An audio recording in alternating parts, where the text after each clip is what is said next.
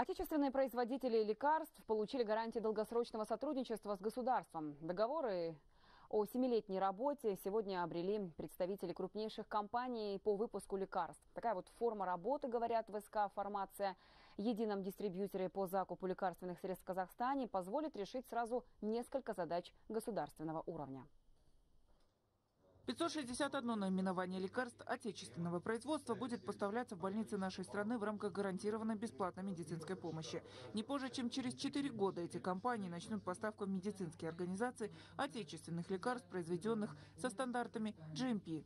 Задача главы государства поставлена, чтобы мы обеспечили 50% а, независимость от импорта те контракты долгосрочные, семилетние, которые мы сегодня подписали, позволят в ближайшие буквально два года обеспечить именно тот, ту планку, которую поставлен перед нами.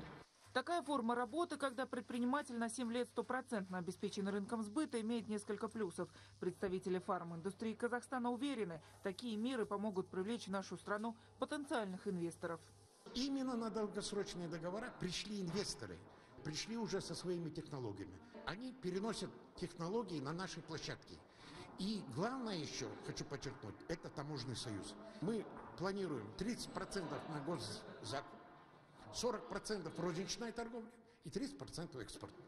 Конкурс по отбору поставщиков лекарства проводился на площадке ТОСК «Фармация». В состав оценочной комиссии вошли депутаты, сотрудники профильного министерства и члены Национальной палаты предпринимателей. Лилия Шеймарданова, Батырбек Гадилбеков. Астана.